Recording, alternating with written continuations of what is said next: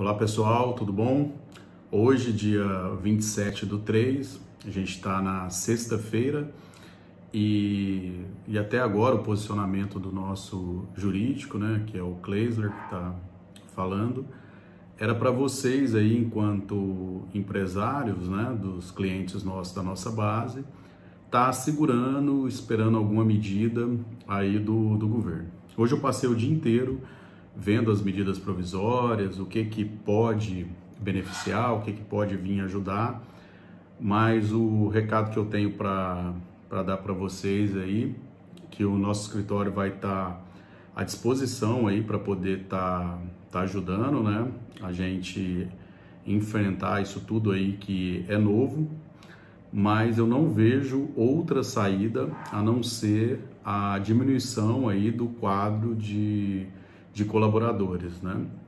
Além de outras medidas aí para também provocar a, a, abertura e além da abertura do, do comércio de cada um de vocês, ter a cautela ainda de até onde vai essa responsabilidade aí de cada empresário, né? De cada grupo de, de empresários. Então, eu resolvi hoje estar tá gravando é, esse vídeo, que é o momento da gente agora, ali nos grupos que a gente tem já, né, dos diretores, a gente unir forças é, no sentido de estudar cada é, peculiaridade de cada uma das empresas de, de vocês aqui junto ao nosso escritório. E por que que, que eu falo isso? A gente já está é, indo aí para mais de 10 dias, né, com esse lockdown aí que está acontecendo. Algumas empresas que a gente atende ainda está conseguindo ter a sua atividade, mas a maioria delas não está tendo a atividade e com isso não tem a receita. Então, é, não tendo receita, se isso aí se prorrogar é, no tempo, daqui a pouco é, não se tem aí nem caixa para poder estar tá sustentando a, as rescisões ou alguma demissão. A gente está esperando há, há, muito tempo alguma medida do governo e o governo não vem é, colocando nada por enquanto, não tem nada definido ainda, não tem, não tem nada que ajude é, de alguma forma com isenção. Então eu li bastante, não tem isso. Então a gente tem o caminho que é o da férias coletiva, que foi um que, que eu pude estudar, pude ver mais, que a gente pode estar é, tá, é, colocando os funcionários em, em férias coletivas para poder estar tá reduzindo um pouco do dano na, na parte aí da remuneração, né, na parte aí de como não está entrando receita, como é que você vai justificar é, esses pagamentos no futuro. Além disso, a gente está vivendo uma outra crise, né? Em alguma que a gente não atende só Rondonópolis, tem outras cidades que a gente atende também, dessas particularidades que tem dos decretos e, e também um decreto municipal fala uma coisa, o decreto do estado fala outra e em, em especial aqui em Rondonópolis, é, pelo que a gente escuta das autoridades, até se chegar a liberar, a gente pode ter aí é, vários funcionários aí também, né, depois sendo acometidos aí com alguma, alguma patologia, enfim, aí, é, a devido dessa pandemia. A gente não sabe quando que vai ser o pico dessa doença, então a gente não sabe, é, quer dizer, o que a gente sabe é que pode acontecer. E prevendo isso aí, então agora é como eu vinha dizendo antes, que era um momento de ter cautela, né?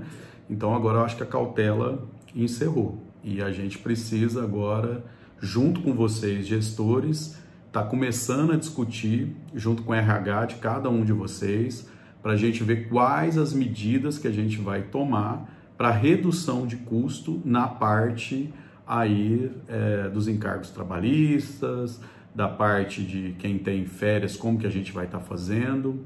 Então, o momento é esse, reestudar, é, deslocamento de funcionário para as filiais, enfim, quem tem mais de uma filial aí, né, que é, como a gente atende, aquela unidade vai funcionar enquanto a outra não está, É, então a gente aqui, enquanto jurídico, vai estar ajudando vocês nesse sentido. Então, o posicionamento nosso hoje, frente a todas as medidas que foram colocadas, é que qualquer ato que vocês fizerem agora, o que a gente acredita muito aqui no, no escritório é que o judiciário ele vai relativizar. Por que, que ele vai ter que relativizar?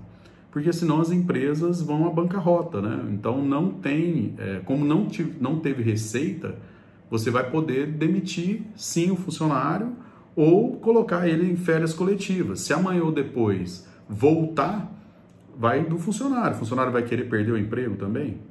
É, ou ele vai conseguir um emprego em outro lugar daqui a pouco para voltar? Então vai valer muito o bom senso e as negociações entre os funcionários. Mas, como eu já vinha falando, antes a gente estava com muita cautela, aguardando.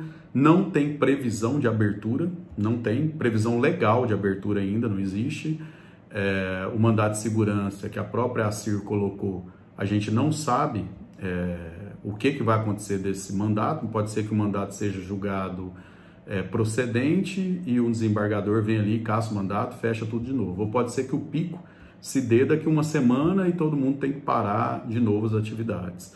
Então, é, o momento é esse. É, a gente aqui na parte jurídica, igual eu falo, vai estar defendendo qualquer posição que vocês tomarem, né, caso a caso. Então, aquele empresário, olha, eu vou abrir o meu comércio. Então, como que a gente vai medir? Vamos colocar um mandado de segurança? Tudo bem, a gente vai trabalhar é, com isso aí. É, vamos ver os pós e contras em cada uma delas. Tá, a, eu preciso dar férias coletivas. Então, tudo bem, vamos dar as férias coletivas, ó, é, as férias coletivas para esse, esse, esse colaborador. Então, a única medida provisória que de tudo que eu li, que ela vem a beneficiar é o parcelamento do FGTS, né, que tem ali, e além disso também essa opção das férias coletivas. É, vídeo longo, o pessoal não, não, gosta muito de assistir até o final, mas esse vídeo, igual eu falei, está sendo gravado só para os clientes nossos do, do escritório mesmo, e a nossa posição de escritório é essa, e aí as particularidades, acredito que cada um vem aqui no, no, no particular, né, nos grupos que a gente já tem, e vamos definindo cada uma dessas particularidades. Que Jesus nos abençoe aí, para a gente poder passar essa fase, né? E voltar aos nossos negócios aí como era e com cautela, com bastante técnica, com bastante discussão. Acredito que a gente vai conseguir sair dessa, tá bom? É, muito obrigado aí a todos vocês e conte com a gente aqui. A gente vai estar de plantão aí, igual eu venho para dar as orientações aí a vocês, tá bom? Um abração.